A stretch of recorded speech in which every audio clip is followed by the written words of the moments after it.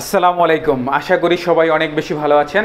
আজকে যে কোশ্চেনটি নিয়ে আলোচনা করব, সেটা হলো discuss the function of a management ম্যানেজমেন্টের ফাংশন কাজ।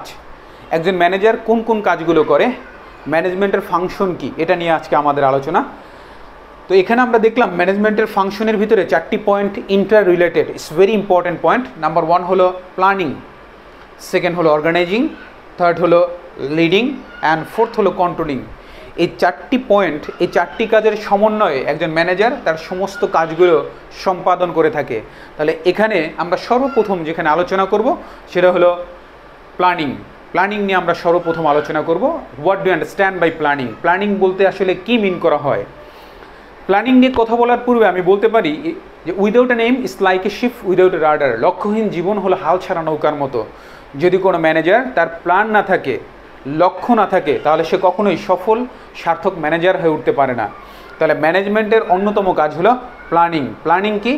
প্ল্যানিং হলো what I will do in future but I have to set up at present that is call planning ভবিষ্যতে আমি কি করব? তার বর্তমানে দাঁড় করিয়ে রাখা কর্মসূচিকেই প্ল্যানিং বলা হয়।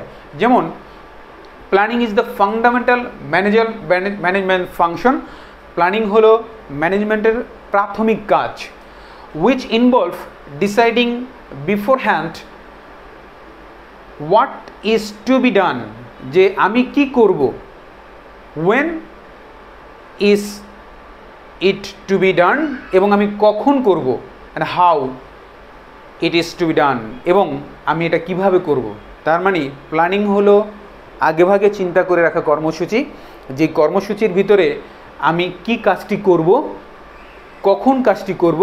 এবং আমি কীভাবে কাজটি করব, এটা চিন্তা ভাবনা করে দাঁড় করিয়ে রাখা কর্মসূচিকেই আমরা প্ল্যানিং বলতে পারি। একজন স্টুডেন্ট সেও কিন্তু একটা প্ল্যান করে। যখন বাবা মা তাকে টাকা দেয়, সে প্ল্যান করে, আগামী এক মাসে আমি কীভাবে চলবো। পদ্মা সেতু যখন তৈরি হয়, পদ্মা সেতু তৈরি হওয়ার আগে একটা প্ল্যান করা হয়েছে, এই পদ্মা সেতুটা কীভাবে হবে? কত কোটি টাকা এটার পিছনে ব্যয় হবে? তার মানে পৃথিবীর প্রতিটি বড় বড় প্রজেক্টে সম্পাদন করার আগে আগে প্ল্যান করা হয়। ঠিক তেমনি এ কারণেই বলা হয়, পৃথিবীতে প্রতিটি কাজ, প্রতিটি স্ট্রাকচার দুইবার ঘটে। একবার হলো কল্পনায় আর একবার হলো বাস্তবে।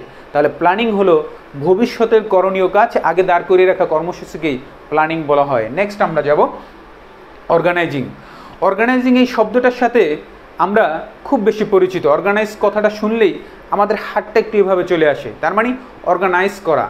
সুন্দর করে সাজানো। সুন্দর একটা স্ট্রাকচার দেওয়া। তার ম্যানেজমেন্টের অন্যতম কাজ হলো অর্গানাইজ করা। কাকে অর্গানাইজ করবে? এমপ্লয়কে কোন এমপ্লয় কোন কাজটি করবে? কোন এমপ্লয়ের রেসপন্সিবিলিটি কী? কোন ডিপার্টমেন্ট কী কাজ করবে? এই সমস্ত কিছু দেখভাল করা, এই সমস্ত কিছু সুন্দর করে অর্গানাইজ করার দায়িত্ব হলো একজন ম্যানেজারের আমরা আসি কী বলল বইতে? Organising including developing structure organising হলো সুন্দর একটি স্ট্রাকচার অবকাঠামো তৈরি করা। ফর দ্য পিপল, মানুষের জন্য এমপ্লয়দের জন্য পজিশন কার পজিশন কি? ডিপার্টমেন্ট কে কোন ডিপার্টমেন্টে আছে? অ্যান্ড এবং অ্যাক্টিভিটি কে কোন কাজ করবে? উইদিন দ্য ফার্ম একটি অর্গানাইজেশনের ভিতরে ফার্মের ভিতরে manager can arrange the struck structure manager কি করে? এই স্ট্রাকচারটা তৈরি করে স্ট্রাকচারাল ম্যানেজমেন্টের কাজ হলো এই স্ট্রাকচারটা তৈরি করা। কে কি কাজ করবে? তাহলে ম্যানেজার তার অন্যতম কাজ হলো অর্গানাইজ করা। এমপ্লয়িরা কে কোন পজিশনে রয়েছে, কে কোন ডিপার্টমেন্টে কে কী কাজ করবে, এই সুন্দর করে এগুলো অর্গানাইজ করা, সুন্দর করে এই অবকাঠামোটা তৈরি করার কাজ হলো একজন ম্যানেজারের নেক্সট লিডিং লিডিং শব্দটা লিডার থেকে এসেছে। লিডার মানিকে যে ফরওয়ার্ড করে, সামনে থেকে নেতৃত্ব দেয়। একজন ম্যানেজারও একজন লিডার তার কাজ হলো মানুষকে ইন্সপায়ার করা মোটিভেট করা। তার কাজ হলো উদ্বুদ্ধ করা। তার এমপ্লয়দেরকে দিয়ে গোল বাস্তবায়ন করার জন্য সবসময় তাদের ভিতরে একটা পেশনা তৈরি করা। এর কাজ হলো একজন লিডারের কাজ। লিডার লিডিংয়ে কী বলা হয়েছে? Leading is another of the basic function within the management process. Management প্রসেসের অন্যতম ফাংশন, কাজ হলো এই leading. Leading is the use of influence. Leading হলো ইনফ্লুয়েন্স করা, প্রভাবিত করা। টু, মোটিভেট এমপ্লয় এবং এমপ্লয়দেরকে মোটিভেট করা। To, achieving organisational goal. Organisation লক্ষ্য বাস্তবায়নের জন্য। তাহলে লিডিং হলো ম্যানেজার তার এমপ্লয়ীদেরকে মোটিভেট করা ইন্সপায়ার করা অর্গানাইজেশনের গোল লক্ষ্য বাস্তবায়ন করার জন্য। এটা হলো লিডিং তাহলে লিডিং হলো ম্যানেজমেন্টের অন্যতম কাজ। নেক্সট ম্যানেজমেন্ট ফাংশনের last point is very important point সেটা হলো কন্ট্রোলিং কন্ট্রোলিং কাকে বলে? কন্ট্রোলিং শব্দটার সাথেই সুন্দর করে যে ওয়ার্ডটি চলে আসে, সেটা হলো নিয়ন্ত্রণ। নিয়ন্ত্রণ মানে কি? তুমি এটা করো না। আমরা, আমাদের বাবা কি করে? সন্তানকে বলে, বাবা, তুমি এটা করো না। বস বলে, আপনি এটা করিয়েন না। তার মানে কি? নিয়ন্ত্রণ করা। যাতে আমাদের ভুল ত্রুটিগুলো না হয়। আর ভুল ত্রুটি হলে নিয়ন্ত্রণের মাধ্যমে এটা সংশোধন করে দেওয়া হয়। ঠিক তেমনি ম্যানেজার, তার কাজ হলো, অন্যতম কাজ হলো অর্গানাইজেশনকে নিয়ন্ত্রণ করা। কোনো ভুল ত্রুটি হলে এটা সলভ করে আবার নতুন করে প্ল্যানিংয়ের মাধ্যমে নতুন কাজ বাস্তবায়ন করা। তাহলে কি বলছে? Controlling is the function of the management which help to check error ম্যানেজমেন্টের অন্যতম কাজ হলো কন্ট্রোলিং যেখানে কাজ হলো ইরোর কোনো ভুল হলে এটা সমাধান করা। In order to take corrective action যেখানে সুন্দর কাজ, সঠিক কাজ জানি করা হয় এই কারণে ভুল ত্রুটি সলভ করে কারেক্ট কাজ করার জন্য উদ্বুদ্ধ করা।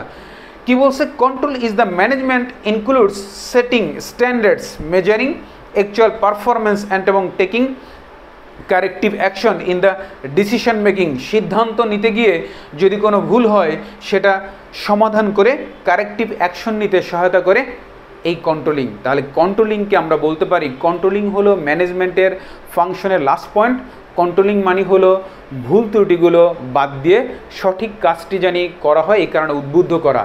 তাহলে আমরা আজকে আলোচনা করেছি ফাংশন অফ ম্যানেজমেন্ট যেখানে আমরা দেখেছি প্ল্যানিং অর্গানাইজিং লিডিং এবং কন্ট্রোলিং আমার বিশ্বাস each and every student you understand very well about the function of the management just you always think what I have to do আমি কীভাবে করব? আপনি মুখস্থ করার দরকার নেই, আপনি বোঝার চেষ্টা করেন। আমার বিশ্বাস, আপনি বুঝতে পারবেন। তাহলে ম্যানেজমেন্টের কাজ খুবই খুবই ইম্পর্টেন্ট একটি রাষ্ট্র চালানোর জন্য, একটি পৃথিবী চালানোর জন্য, একটি সংসার চালানোর জন্য একজন ম্যানেজারকে যে কাজগুলো সম্পাদন করতে হয়, তার ভিতরে অন্যতম কাজ হলো প্ল্যানিং করা অর্গানাইজ করা লিড দেওয়া এবং কন্ট্রোল করা। আমার বিশ্বাস, আপনি বুঝতে পেরেছেন। Thank you thank you so much আল্লাহ হাফেজ।